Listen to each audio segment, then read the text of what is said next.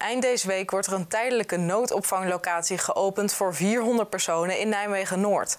De locatie bevindt zich ten zuiden van de Oosterhoutse plas tussen de Griftdijk en het spoor. De gemeente zal zorgen voor 24 uur toezicht en beveiliging. Komende vrijdag komen de eerste bewoners op de nieuwe noodopvanglocatie hier in Koudehoek in Nijmegen-Noord. Deze tijdelijke noodopvanglocatie zal plek hebben voor zo'n 400 personen. Ondanks de spreidingswet heeft het COA nog steeds te weinig opvangplekken voor vluchtelingen in ons land.